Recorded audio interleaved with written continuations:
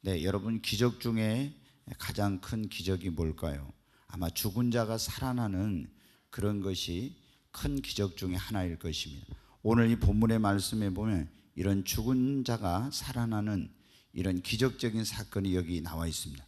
우리가 잘 아는 내용인데 베다니에 사는 유대의 나사로가 병으로 시름시름 앓다가 아, 죽게 되었습니다. 그래서 이제 그 여동생인 마르다와 마리아가 아, 유대 땅에 계신 예수님께 사람을 보냈는데 예수님이 빨리 오시질 않았어요. 그래서 결국에는 나사로가 죽고 맙니다. 이 죽은 나사로를 어 이제 무덤에다가 장사를 지냈는데 나흘이 지나서야 예수님께서 오셨어요. 그래 이제 마르다가 예수님이 오셨단 말을 듣고 달려나가서 어 예수님이 여기 계셨으면 내 오라버니가 죽지 않았을 건데 왜 이제 오셨느냐고 막 울면서 그렇게 합니다. 그러니까 예수님이 나는 부활이요 생명이니 아니 내 오라버니가 살리라 그래요. 그러니까는 이 마르다가 뭐라 하냐면 내가 마지막 날에는 우리 오라버니가 부활할 때 다 그 부활할 때 다시 살 줄 믿습니다. 그러니까 예수님이 나는 부활이요 생명이니 나를 믿는 자는 죽어도 살겠고 살아서 나를 믿는 자는 영원히 죽지 아니하리니 네가 이것을 믿느냐 그래요. 어, 이제 그리고 네 오라비는 어디에 두었느냐? 예수님께서 마르다를 이제 따라갔습니다. 무덤에 갔는데 이미 죽은 지가 나흘이 되었는데 예수님이 무덤 앞에 서시더니 마르다에게 그렇게 말합니다. 네가 이 무덤 입구를 그 돌로 유대인들은 막아놨는데 그 돌을 옮겨 놓으라고 예수님께서 말씀을 하셨어요. 그러니까 마르다가 예수님께 죽은 지가 나흘이 되어서 벌써 송장 썩은 냄새가 납니다. 그렇게 말해요. 예수님이 내 말이 네가 믿으면 하나님의 영광을 보리라 하지 아니었느냐. 그래서 그 마르다가 이제 돌을 옮겨 놓으니까 예수님께서 하나님 아버지께 기도를 합니다. 항상 내 말을 들으시는 것을 감사합니다. 그러면서 내가 비옵는 것은 나를 위해서가 아니라 여기 이 둘러선 무리를 위함이라고 그렇게 이제 예수님이 기도하시면서 그 무덤 속에 있는 나사로를 향해서 나사로야 나오라고 예수님이 명령을 했어요. 그러자 죽은 자가 무덤 속에서 지금 송장이 돼 가지고 송장 썩은 냄새가 났잖아요. 근데 그 죽어 있던 나사로가 떠나갔던 영혼이 돌아와 가지고 살아나 가지고 그 무덤 속에서 이제 걸어 나오는 거예요. 그런데 여러분 사람이 죽으면 어떻게 합니까? 저는 이제 이 입관 예배를 할 때 많이 가봅니다. 가보면 다그 사람이 죽으면은 얼굴을 그냥 다 가려요. 그리고 온 몸을 수의를 입혀가지고 다 꽁꽁 그렇게 묶더라고요. 그래서 죽었다가 다시 살아나기도 힘들겠다. 제가 그 생각이 들어요. 왜냐하면 아주 눈, 코, 입 이런 데 다 막아놓고 숨도 못 쉬게 코 속에다도 뭐 집어넣어가지고 꽁꽁 다 묶어놓으니까 혹시 죽은 사람이 깨어나더라도 아, 이거 다시 살아나기 힘들겠는데 그런 생각을 할 정도. 근데 유대인들도 우리하고 이 장례 이런 게 좀 절차가 비슷한가 봐요. 여기 말씀해 보니까 어떻게 돼요? 다 얼굴도 가리고 온 몸을 다 수의를 입혀가지고 꽁꽁 묶어놨습니다.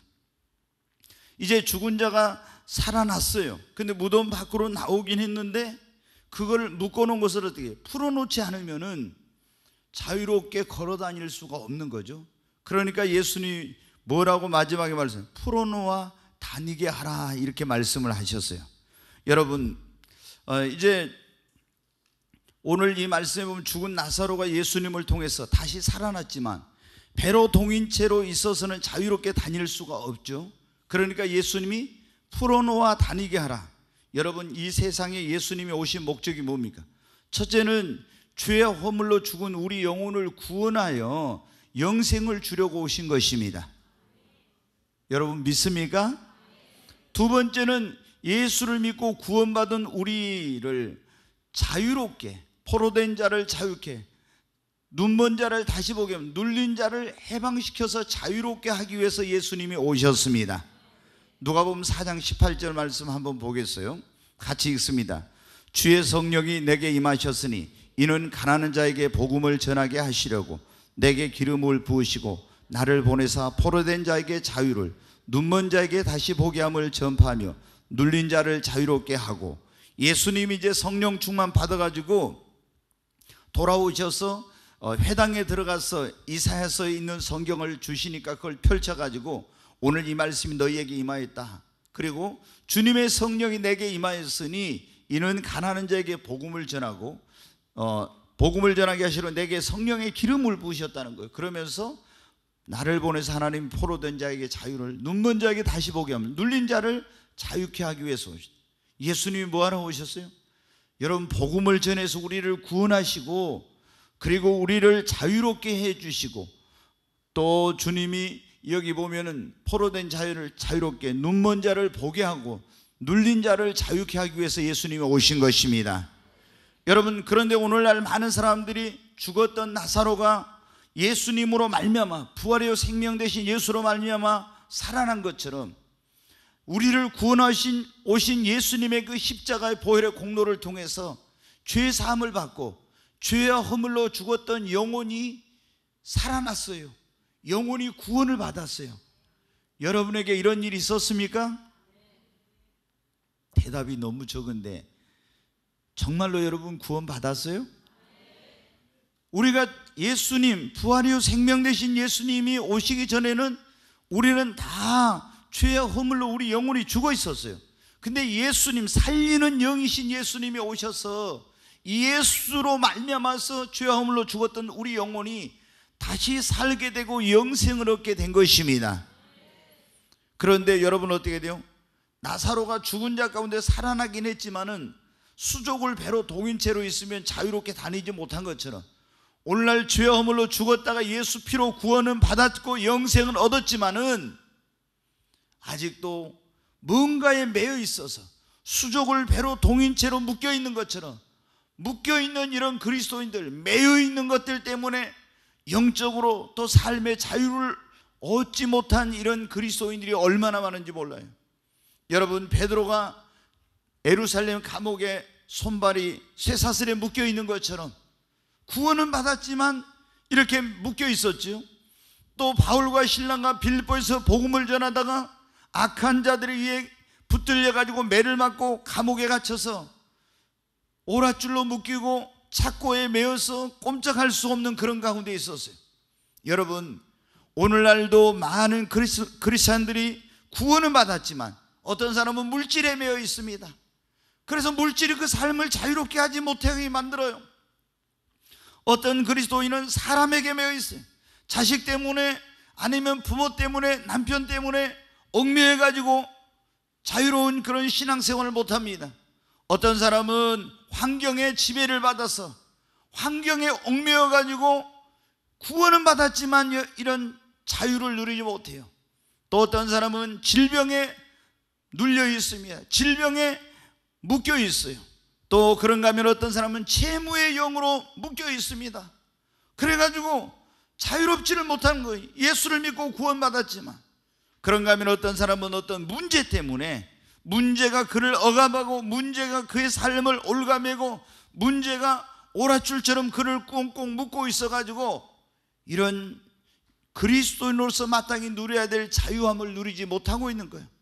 뿐만 아니라 어떤 사람은 예수를 믿었지만 이스라엘 백성들이 택한 하나님의 백성이지만 애굽에서 바로의 포로가 되어 종로로 단 것처럼 예수를 믿는데도 악한 영의 그런 어떤 강력한 영향력 아래 놓여 있으면서 그런 흉악의 영으로부터 자유롭지 못한 이런 사람들이 있고 정욕에 매여 있는 사람, 도박에 매여 있는 사람, 게임에 매여 있는 사람, 어떤 나쁜 것에 중독에 그런 묶여 있는 사람, 나쁜 습관에 묶여 있는 사람, 이런 가운데 있는 그리스도인들이 이 죽은 자 가운데서 나사로가 살아났지만 수족이 배로 동인 채로 있는 것처럼 이런 그리스도인들이 많이 있는데 오늘 우리의 메인 것이 벗어지고 묶인 것이 풀어지려면 그런 말씀입니다. 여러분이 어떤 삶에 뭔가 환경 때문에 채무나 물질이나 여러분이 그런 삶의 문제나 사람 때문이나 어떤 것으로 매 있든지 간에 또 묶여 있든지 간에 하나님의 뜻은 그것이 아닙니다. 여러분이 예수님이 오신 것은 여러분을 구원하실 뿐 나사로를 죽음에서 살려놓기만 한 것이 아니라 그를 풀어놓아 자유롭게 한 것이 주님이 원하시는 것입니다. 여러분을 죄화물로 죽은 그 죽음의 자리에서 멸망의 자리에서 구원해 주실 뿐만 아니라 여러분이 이제 눌리고 포로된 가운데서 자유롭게 되기를 주님은 원하십니다. 그러면 우리가 메인 것이 벗어지고 묶인 것이 예, 풀어지려면 어떻게 하는가? 첫째 여러분 기도해야 합니다. 네, 사도행전 12장 4절로 7절을 한번 보겠습니다. 네, 같이 읽습니다. 잡음에 옥에 가두어 군인 내식인 네 패에 맡겨 지키고 유월절 후에 백성 앞에 끌어내고자 하더라.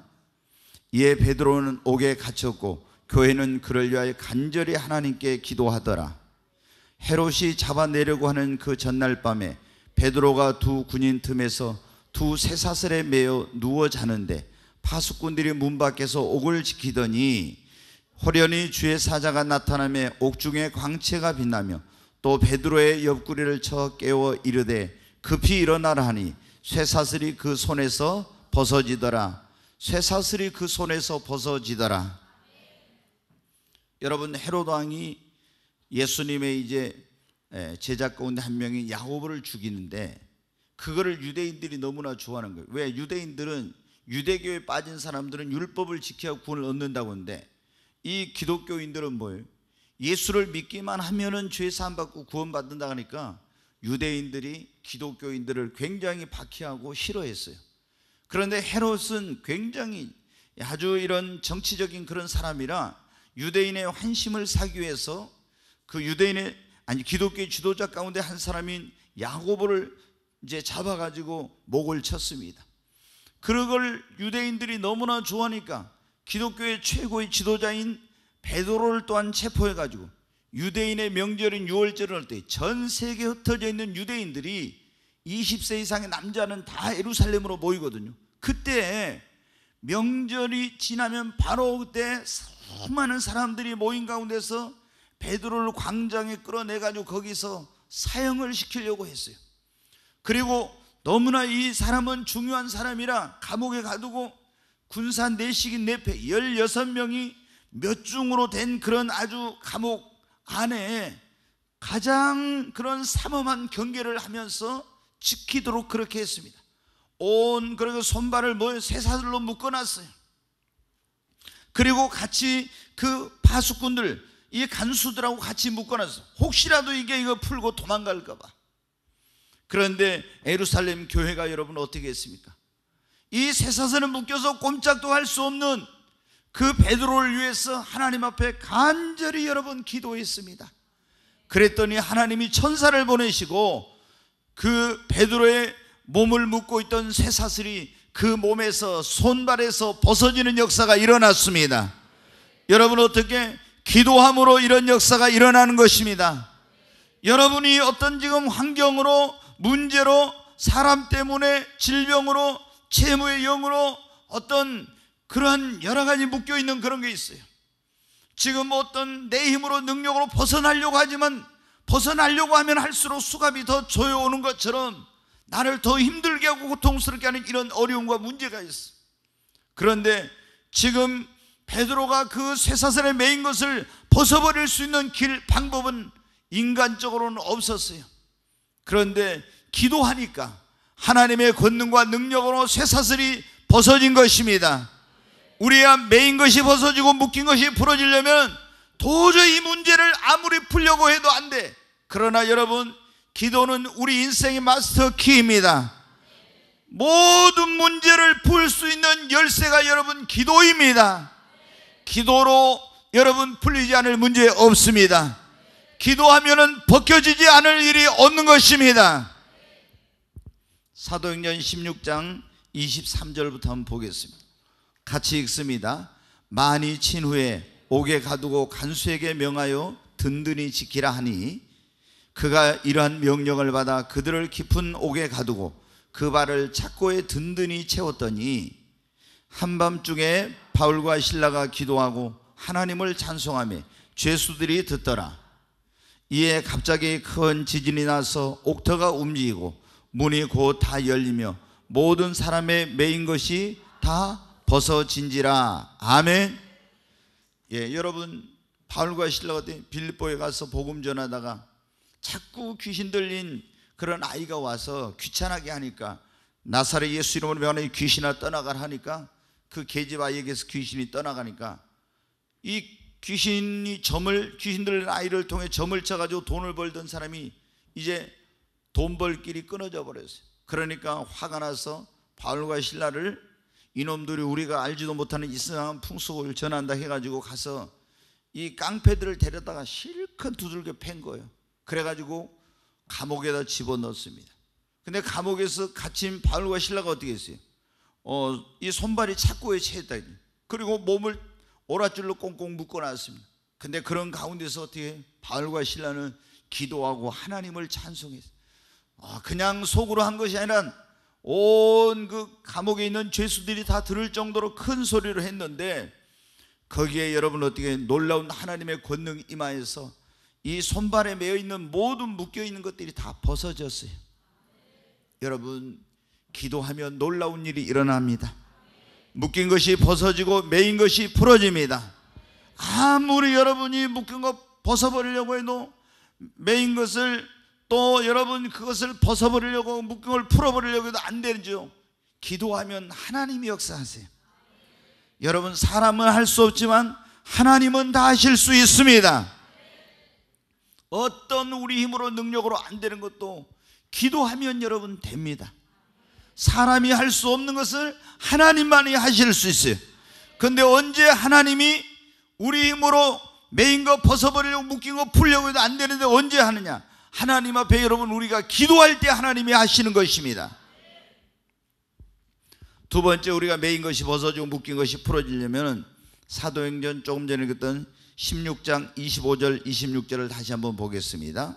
사도행전 조금 전에 봤다. 네. 25, 26 같이 읽습니다. 한밤중에 바울과 신라가 기도하고 하나님을 찬송했다겠죠? 하나님을 찬송해요. 기도하고 찬송했어요. 죄수들이 듣더라. 자, 26절. 이에 갑자기 큰 지진이 나서 옥터가 움직이고 문이 곧 다 열리며 모든 사람의 매인 것이 다 벗어진지라. 이렇게 기도하고 찬송했더니 큰 지진이 일어나 감옥의 옥터가 움직이더니 닫혀 있는 문이 다 열리고 모든 사람의 매인 것이 다 벗어진지라. 어떤 것만 벗어진 것이 아니라 다 벗어진 거예요. 여러분 우리가 매인 것이 벗어지고 묶인 것이 풀어지려면은 하나님 앞에 기도하고 하나님 앞에 찬송해야 됩니다. 아, 어떤 게 막 매여 있고 어떤 게 풀리지 않아. 그러면 보통 사람들이 어떻게 돼요? 하나님을 원망하고 그리고 불평하고 하나님 앞에 투정하고 이런 부정적인 말하고 불신앙적인 말하는 거예요. 그러면 여러분 어떻게 돼요? 절대 안 풀립니다. 우리가 기도하고 하나님 앞에 감사하고 찬송하면은 하나님께서 놀라운 기적을 베풀어 주십니다. 우리 힘으로 능력으로 아무리 매인 거 벗어버리려고 묶인 거 풀어버리려고 도 안 됐는데 기도하고 찬송할 때 하나님이 역사하십니다. 여러분 다니엘도 바벨론의 포로로 끌려갔잖아요. 그런데 여러분 어떻게 했습니까? 바벨론 포로로 끌려 그냥 끌려가는 거예요. 오랏줄로 묶여가지고 끌려간 거예요. 그런데 끌려갔는데 거기서 원망 불평할 수 있죠. 근데 원망 불평하지 않고 하나님 앞에 감사했어요. 그러니까 하나님께서 그런 어떤 환경에 묶여 있고 모든 것이 묶여 있고 매여 있던 그런 상황 속에서 하나님이 놀라운 자유를 주시고 하나님께서 그에게 기적을 베풀어 주신 걸 볼 수 있어요. 여러분, 우리가 원망하고 불평하고 부정적인 말 하면요. 점점 우리가 더 묶이게 되고 점점 더 매이게 되고 점점 더 꼬이게 되는 거예요. 아무리 내가 환경이나 문제나 어떤 어려움이 있어도 그것 때문에 원망하고 불평하고 부정적인 말하고 불신앙적인 말 하면 안 돼요. 그러면 더 꼬이고 더 묶이게 되고 더 매이게 되고 이렇게 됩니다. 그때도 하나님께 기도하고 믿음을 가지고 하나님 앞에 찬송하고 감사하면 하나님께서 여러분 놀라운 기적을 베풀어 주십니다. 네. 오늘 밤 우리가 매인 것이 벗어지고 묶인 것이 풀어지려면 세 번째 우리 시편 107편 10절부터 13절 말씀 보겠습니다. 네. 같이 읽습니다. 사람이 흑암과 사망의 그늘에 앉으며 공고와 쇠사슬의 매임은 하나님의 말씀을 거역하며 지존자의 뜻을 멸시함이라. 그러므로 그가 고통을 주어 그들의 마음을 겸손하게 하셨으니 그들이 엎드러져도 돕는 자가 없었도다. 이에 그들이 그 환란 중에 여호와께 부르짖음에 그들의 고통에서 구원하시되 여러분 어때요? 우리가 하나님 앞에 예, 공고와 쇠사슬에 매인 것은 거기 10절 말씀 다시 보여주세요. 여기 사람이 흑암과 사망의 그늘 앉으며 공고와 쇠사슬에 매임은 지존자의 말씀을 거역함이라 그래서 하나님 말씀을 불순종하고 죄 짓고 이럴 때 어떻게 돼요? 우리 삶의 어떤 것들이 쇠사슬에 매이고 공고와 쇠사슬에 매인다 했잖아요. 일이 안 풀리고 그리고 꼬이고 매이게 되고 묶이게 되고 이런 일이 생긴다는 거예요. 그러면은 여러분 우리가 하나님 말씀 불순종하고 죄 짓고 그렇게 하죠 그렇게 됐을 때 이런 일이 벌어진대. 그러면 우리가 어떻게 돼? 회개를 해야 그 결박이 풀어집니다. 멍해가 벗겨지는 거예요. 근데 어, 어떤 사람들은 이런 어려움이 있을 때 기도를 막 열심히 합니다. 기도해도 절대 이게 공고와 세슬에 매여 있는 거, 묶여 있는 것이 풀어지지 않고 벗어지지 않을 때는 우리가 그때 내 자신의 삶을 돌아봐야 돼요. 내가 혹시 하나님 앞에 범죄한 거 없나? 이 하나님 앞에 뭔가 내가 어떤 서운을 했거나 아니면 어떤 그 하나님의 말씀을 불순종했거나 하나님 앞에 어떤 합당하지 못한 삶을 살았거나 죄를 지었거나 이러한 것이 있는지 여러분 살펴봐요. 내가 죄가 없고 하나님 앞 막힌 것이 없다면은 기도하고 찬송하면 분명히 매인 것이 벗어지고 묶인 것이 풀어져요. 그런데 그렇게 열심히 기도하고 감사하고 찬송하는데도 매인 것이 벗어지지 않고 묶인 것이 풀어지지 않는다. 그러면 어떻게 돼요? 하나님과 나 사이에 막힌 것, 죄, 불순종한 것 이러한 것이 있는가를 살펴봐야 돼. 그리고 그게 있으면 어때? 회개를 하면은 흉악의 결박을 풀어주고 묶인 것을 하나님께서 풀어주고 멍해를 벗겨주시는 역사가 일어납니다. 여러분 이스라엘 백성들이 죄를 지었을 때 보면 사사시대 어떻게 했냐면은 하나님 앞에 이제 은혜를 입어서 그런 하나님이 그 땅에 평화를 주시고 엄청난 축복을 주시면 이 사람들이 이제 몇십 년이 지나면 하나님을 떠나요. 그리고 죄를 짓고 자기들 마음대로 사는 거예요. 그러면 하나님께서 어떻게 돼? 이방 나라 옆에 있는 블레셋이라든가 미디안이나 이런 나라들을 통해서 이스라엘을 어떻게 하냐면 이제 침략하도록 만들어 가지고 그들을 채찍과 몽둥이로 사용해 가지고 굉장한 고통을 주고 그들을 막 억압을 합니다. 엄청나게 막 고통을 주면 억압을 해. 그러면은 이스라엘 백성들이 어떻게 그때 막 하나님 앞에 회개하면서 하나님 앞에 긍휼을 구하고 용서를 구하면 그러면 어떻게 돼? 하나님이 사사를 일으켜요. 사사를 일으켜 보내서 그들에게 그 억압과 고통과 눌림에서 어떻게 되면 그들을 구원하고 자유케 해 주십니다. 여러분, 우리가 어떤 것에 눌리고 매여 있고 그리고 어떤 것이 풀리지 않을 때는 하나님 앞에 자신을 성찰하고 철저히 여러분 회개해야 합니다. 우리가 이 이스라엘이 남북으로 갈려진 이스라엘 남쪽에 유다 아니 유다라고 하는 그 나라에 문하세라는 그런 왕이 있었어요. 이 문하세는 그 아버지는 굉장히 경건한 그런 사람이었는데 이 아들이 아버지의 그 신앙을 본받지 않고 어, 그런 우상 숭배하고 가장 악한 그런 이제 생활을 하게 됩니다. 그래서 하나님이 아수르 군대를 보내 가지고 유다를 침략하게 만들고 이 문하세 왕을 철사줄로 꽁꽁 묶어 가지고 이제 질질 끌고 갑니다. 막 맨발 벗고 질질 포로가 돼 가지고 이 왕이 한나라의 왕이 질질 끌려 끌려가는 거예요. 옛날에 여러분 우리나라 역사에도 보면 그런 일이 있었잖아요. 그런데 그렇게 끌려가면서 어떻게 하냐면 하나님 앞에 막 그 우상 숭배하고 말씀대로 살지 못하고 죄진 것을 막 철저히 회개해요. 그러니까 하나님이 어떤 역사를 해요? 그 아수르 왕의 마음을 움직여 가지고요. 철사줄로 꽁꽁 묶여 가지고 끌려가던 그 문하세 왕을 거기서 풀어줘요. 그리고 다시 돌아가도록 이런 하나님께서 은혜를 베풀어 주십니다. 여러분 어떻게 얼마나 문하세 왕은 아주 하나님이 가장 싫어하는 죄가 뭡니까? 바로 가장 싫어하는 죄 우상 숭배죄. 그 다음에 음란죄 뭐 이런 죄잖아요. 근데 가장 싫어하는 죄인 그 우상 숭배죄를 그렇게 많이 지었어요. 그런데도 불구하고 하나님 앞에 철저히 회개하니까 어떻게 돼요?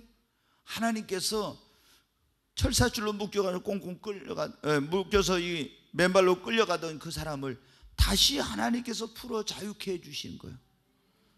그리고 그의 생전에는 화를 내리지 않고 너의 이 아들의 때에 가서 이제 그런 화를 내릴 거다. 하나님께서 이렇게까지 하셨어요.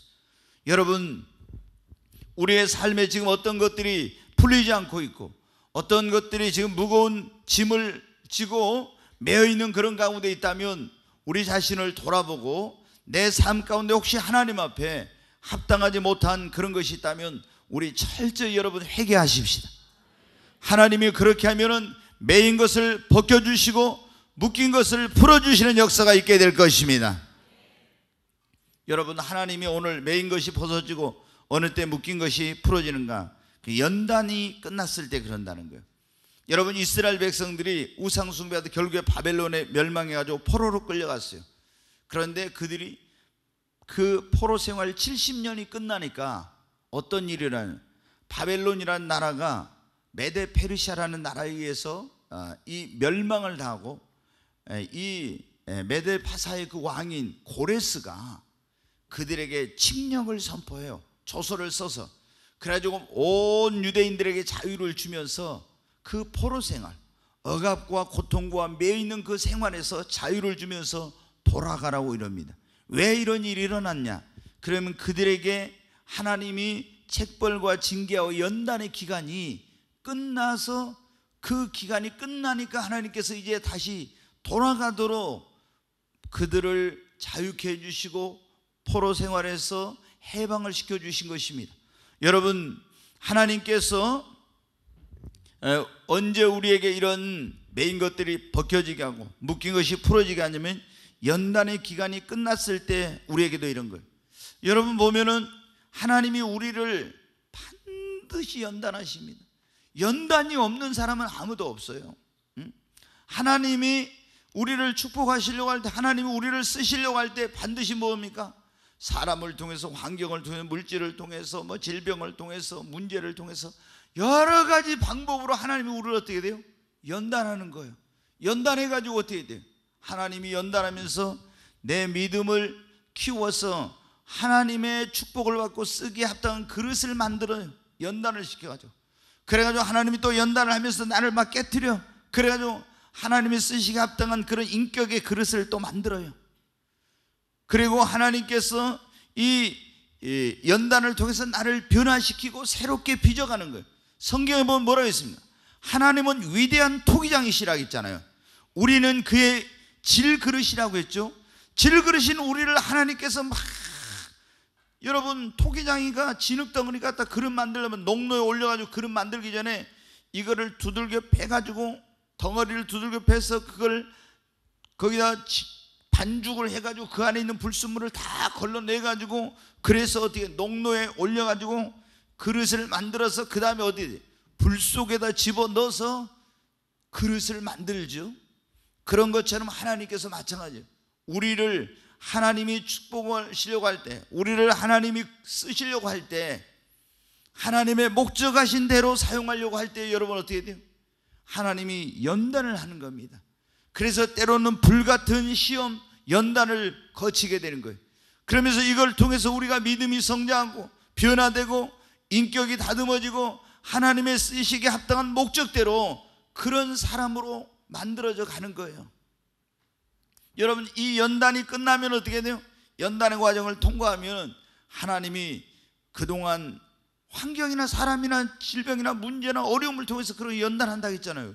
근데 이게 이제 그 목적이 달성됐으니까 이걸 다 하나님께서 매인 것이 벗어지게 묶인 것이 풀어지게 하는 거예요. 다니엘의 세 친구 있죠. 사드락과 메삭과 아벤누고가 바벨론의 느부갓네살 왕이 두라 평지에다 666 규빗이나 되는 금신상을 만들어 놓고 그것에 뭐 하라 그랬냐? 절하라 그랬어요. 그게 이제 악기가 울릴 때 절하라고 하는데 사드락과 메삭과 아벤누고는 거기 절을 안 해가지고 결국에 어떻게 돼요? 이제 이, 이 사드락과 메삭과 아벤누가 평상시 왕의 총애를 받고 높은 지위에 올라가는 걸 시기했던 사람들이 느부갓네살 왕에 가서 그걸 참소해 가지고 결국에 이제 뜨거운 풀무불 일곱 배나 뜨거운 풀무불 속에 던져지게 됩니다. 그런데 여러분 던져질 때 어떻게 성경에 보면 오랏줄로 묶여 가지고 풀무불 속에다 집어 던졌어요. 근데 그 풀무불 속에 들어갔다 나올 때는 어떻게 돼요? 다 오랏줄은 불타버리고 온 이 몸이 자유롭게 되었는데 그 머리카락이나 이 옷도 조금도 그을리거나 탄진 곳이 하나도 없었다고 했어요. 그 풀무불 속에 연단을 받는 불 속에 들어갔다 나오면서 묶여 있던 것이 다 불타버리고 자유롭게 된 것입니다. 이게 우리는 뭐냐면 불같은 시험, 불같은 연단이라고 할 수 있어요. 여러분, 우리가 불같은 연단을 통과하고 나면은 하나님께서 여러분의 매여 있는 것, 묶여 있는 것을 풀어 자유케 해 주실 줄로 믿습니다. 한 가지만 제가 말씀을 드리고 마치겠습니다. 네. 어, 우리가 예수를 믿는 사람들이 어느 때 매인 것이 벗어지고 묶인 것이 풀어진가? 성령이 임하시면 그런 일이 일어납니다. 네, 여러분 우리가 고린도후서 3장 17절에 보면 그런 말씀이 있어요. 뭐냐면은 주의 영이 있는 곳에는 뭐가 있다? 예? 자유함이 있습니다. 네, 하나님의 영이 있는 곳에 자유함이 있어요. 그러니까 여러분이 어떤 환경이나 이런 어떤 것에 있어서도 어, 뭐 감옥에 있어서 영혼은 자유하는 건 뭐냐면 성령이 충만하면 자유함을 누려요. 근데 굉장히 중요한 게 뭐냐면 어, 이 하나님의 성령은 우리를 자유롭게 하시는 그런 영이십니다. 사도 바울이 굉장히 예수를 믿고 나서 구원받은 다음에 그 죄의 권소로부터 벗어나려고 했어요. 근데 벗어나지 못해서 죄를 안 지려고 하면 할수록 더 죄가 자기를 조여하고 억압하는 것을 느꼈어요. 그래서 오호라 나는 공고한 사람이로다. 이 사망의 몸에서 누가 나를 건져내라 하면서 탄식을 했어요. 그런데 로마서 8장 1절에 보면 그런즉 이제 하나님께 감사를 다. 그런즉 그리스도 예수 안에 있는 자에게는 그러므로 결코 정죄함이 없나니 이는 생명의 성령의 법이 죄와 사망의 법에서 너를 해방하였습니다. 여러분 우리가 죄와 사망의 법에서 자유롭게 되고 해방될 수 있는 것은 생명의 성령의 법으로만 가능하다는 거예요. 우리가 보면은 사사들 가운데 유명한 사람이 삼손이라는 사사가 있죠. 이 삼손이 자기 민족을 이제 구원하는 거예요. 그러니까 이 블레셋 사람들에게는 눈에 가시였어요. 온갖 방법을 다 동원해 가지고 삼손을 결박을 하고 삼손을 죽이려고 했습니다. 그런데 이제 이 삼손하고 한마디로 얘기해서 맞짱을 떠가지고는 안 되니까 삼손 그 유대 나라를 침략을 해가지고 유대 그 백성들한테 뭐냐면 삼손을 내오면은 잡아가지고 오면은 내가 너희들에게 다 이런 어떤 자유를 주겠다. 그렇지 않으면 삼손을 잡아오지 않으면은 가만두지 않겠다고 이어버렸어요. 그래서 너무 이제 그 유대인들이 고통을 당하니까 어, 삼손에게 갔습니다. 지금 너 때문에 우리가 얼마나 큰 고통을 당하는 줄 아느냐? 너만 내주면 우리가 편안하게 될 건데 너 때문에 지금 우리가 블레셋 사람들은 너무 큰 고통을 당하니까 네가 결박을 당해가지고 저기 포로로 나라를 편안하기 위해서 그렇게 끌려가라고 한 거예요. 그래가지고 이제 삼손을 결박을 했어요. 해서 블레셋 사람들이 이제 올 때 삼손을 갖다가 이제 포로로 넘겨줍니다. 그런데 어떤 일이 온 몸을 오랏줄로 꽁꽁 묶었거든요. 네, 자 사사기 15장 한번 보겠어요. 같이 읽습니다. 삼손 레히의 이름에 블레셋 사람들이 그에게로 마주 나가며 소리 지를 때 여호와의 영이 삼손에게 갑자기 임하심에 그팔 위에 밧줄이 불탄 삼과 같이 그의 결박되었던 손에서 떨어진지라 여기 보면 뭐라 했어요 블레셋 사람들이 이제 유대 사람들이 삼손을 결박하여 블레셋 사람에게 넘겨주려고 하니까 블레셋 사람들이 이제 오는 거예요 그런데 소리를 지르면서 오는데 여호와의 영이 어떻게 돼요? 삼손에게 하나님의 성령 임하시니까 그의 팔 위에 밧줄과 예, 밧줄이 뭐라고요? 불탄 삼줄과 같이 그의 결박된 손에서 떨어지더라. 아멘. 여러분 어떻게 밧줄로 꽁꽁 묶어놨는데 어떻게 거기서 그걸 풀고 자유할 수가 있어? 자기의 힘으로 능력으로 안 되는 하나님의 성령이 임하시니까 하나님의 성령이 우리를 매인 것으로부터 벗어지게 하고 묶인 것으로부터 자유롭게 하는 것입니다. 이사야서 10장 27절 말씀 한번 보겠습니다. 같이 읽습니다. 그날에 그의 무거운 짐이 내 어깨에서 떠나고 그의 멍에가 내 목에서 벗어지되 기름진 까닭의 멍에가 부러지리라. 여기 보면 그날에 그의 무거운 짐이 내 어깨에서 떠나고 그의 멍에가 네 목에서 나를 메고 있던 이 무거운 멍에가 내 목에서 벗어지되 기름진 까닭의 멍에가 부서지리라 그랬죠. 부러지리라.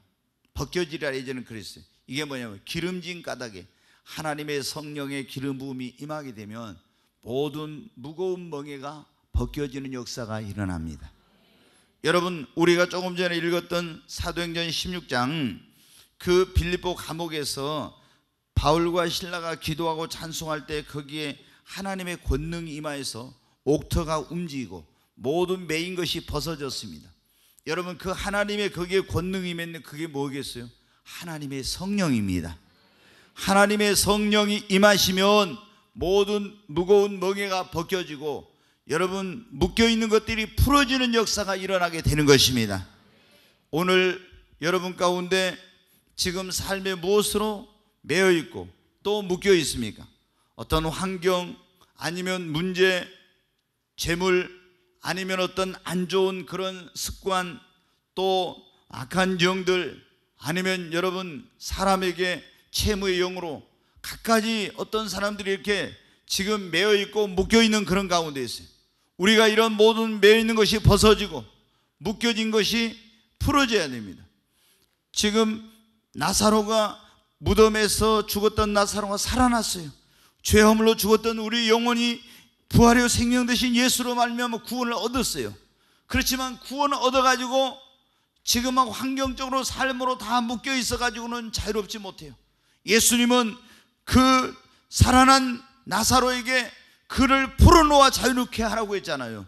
우리도 여러분 구원받은 우리가 이제는 구원만 받은 것으로 만족해서는 안 되고 우리의 삶의 모든 매여 있는 것들이 묶여 있는 것들이 다 벗어지고 풀어지는 역사가 일어나야 됩니다.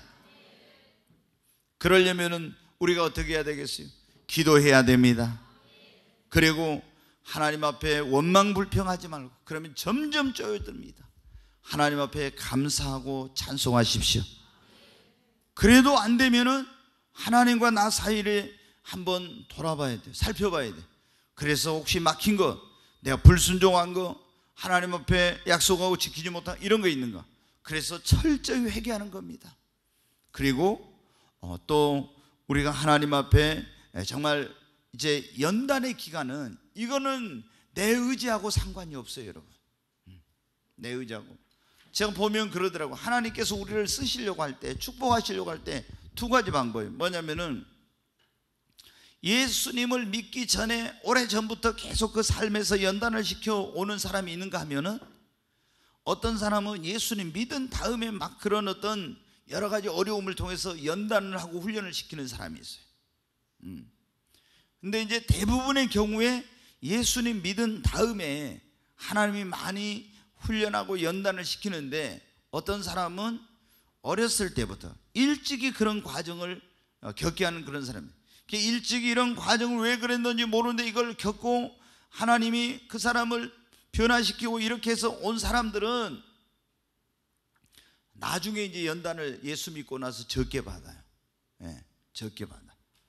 예, 그런데 이제 그렇지 않은 경우에는 대부분 어떻게 하나님이 우리를 크게 쓰시려고 하고 큰 복을 주시려고 할수록 있잖아요.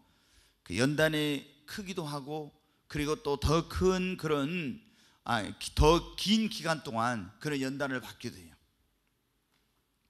예, 그래서 우리가 어, 이 하나님께서 그냥 하나님의 그런 사람이 되고 그런 하나님의 축복을 받고 쓰임 받는 그릇이 되는 게 아니거든요. 그러니까 여러분 어떻게 연단이 고통스럽지만은 이거는 우리 모두가 다 겪는 과정입니다. 그러니까 이런 과정을 겪을 때 내가 빨리 하나님 앞에 깨어지고 변화되고 그리고 내 믿음이 성장하고 하나님이 쓰시고자 하는 목적대로 여러분 내가 빚어져야 됩니다.